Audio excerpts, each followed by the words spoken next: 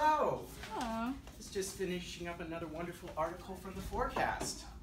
I'm Dr. Jason Goldstein, and this is 40 Questions with Dr. Jason Goldstein. How do you start your day? Well, I usually start my day by opening my eyes and blinking a little bit, and then I listen to a lot of ambient music to relax and chill out before I get to Hockaday. Who is your favorite actor? Well, um, it's Matthew McConaughey, I would say. Can you do an impression of him or her? Let me see. Let's see. Um, all right, all right, all right. Oh, they're going here. What are some family traditions that you have? Well, uh, my family's very big into celebrating birthdays uh, and holidays in general. But we share a lot of we exchange. We always exchange cards and gifts, and we all get together. Usually, my aunt, my two aunts, and my mother do all the cooking and all the work, and everyone else just uh, enjoys all of the fruits of their labors. If you could be a rock star from any decade, who would you be? Oh, that's a good question. How about uh, Lou Reed? What is a song from the 90s that you still listen to? Ooh, let's see. I listen to a lot of 90s music, but I'm pretty fond of Elliott Smith. Let's say Angeles. Elliott Smith.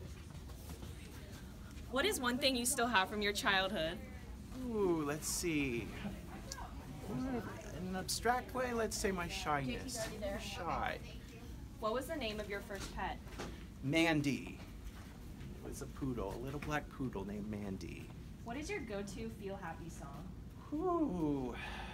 Well, I listen. I like a lot uh, Thunderclatter by Wild Cub. If you attempted to play any sport professionally, what would it be?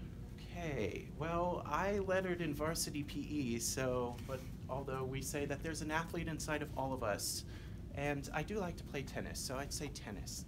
What is your favorite sports team of all time? Oh boy. Well, I went to UT as a graduate student, so I should say the Texas Longhorns in general. But I do like the Houston Astros as well. What's your favorite place to hang out? Ooh, I like libraries. Libraries and art museums. What is your favorite decade? Hmm. The 70s, the the 1870s. When you're not working, what is one thing you love to do? I love to read. Love to read. I'm an English teacher, so I think that's probably a good thing to love to do in my free time. What color is your favorite shirt? Uh, well, I have on a white shirt today, but I really like green a lot. I don't get to wear green shirts, sometimes green ties. I'm trying to build my green tie collection for Hockaday. What is your go-to restaurant? Go-to restaurant in Dallas. Uh, I love Eatzi's. I don't know if that's really a restaurant. It's more of a, a takeaway place, but I also love Celebration Restaurant. I like good Southern comfort food. What is your worst habit? My worst habit: worrying. What is your best habit? Mm, maybe worrying too. What is the number one piece of advice you have for aspiring teachers? Be flexible. Be flexible. Uh, consider any opportunity for teaching a positive one. Consider teaching outside of your spiel, field of specialization. Be passionate about what you do and uh, transfer that to your students as well. What is your favorite part of your job?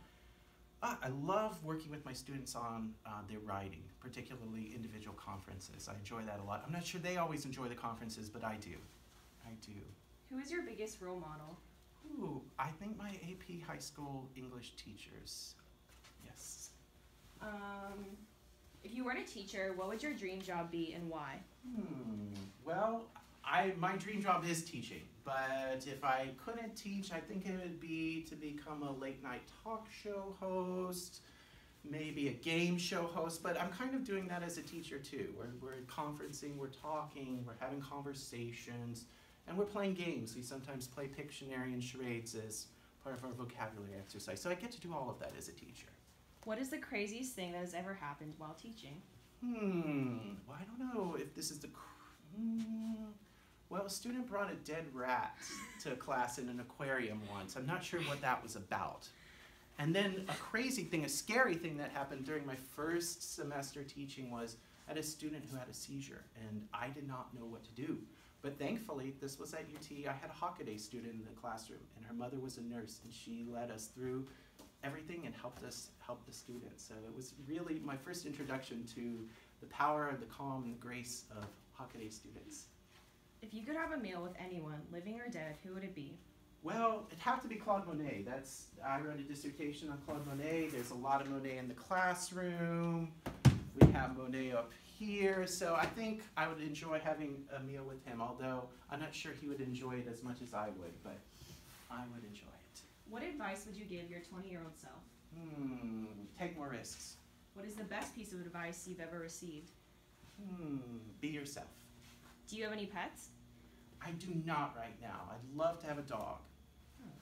If you could have any animal as a pet, real or non real, who, um, what would it be? I think it would have to be a dog again. A golden retriever would be my dream dog, though.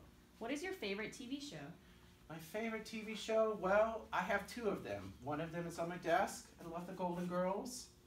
Sophia, Rose, Blanche, and Dorothy. And I also am very fond of Mr. Rogers, and I have his little trolley over here, so TV figures prominently in my classroom. What is your favorite food? Favorite food? Bread. Bread of any sort. What is your least favorite food? Least favorite food? Anything with mayonnaise. I'm just, I'm, I'm grossed out by mayonnaise. I don't understand it. What is the weirdest thing you've ever cooked? Weirdest thing, Play-Doh. If your life was a musical, what would it be called? Um, worries and follies. What is your favorite movie? Favorite movie? Uh, Basquiat. What is your favorite book? Favorite book? I have two. Uh, Baudelaire's Les Fleurs de Mal and uh, Marcel Proust à la recherche du temps perdu, in search of lost time. If you could change your name, what would you change it to? What would I change it to? Well, I often use my middle name, so I'll say Alan. What was your first job? First job, butchering and selling chickens. What is the most terrifying thing you've ever done? Hmm. Well, recently I say it was going off the big, going on the big swing at a lasso. That that was pretty scary. What is your spirit animal? Spirit animal, um, Plecostomus. I like to keep things clean in the classroom. Can you draw it? Can I draw? Oh my goodness. Oh boy. I'm an art historian, uh, but I always say those who can do, those who can't critique. I think.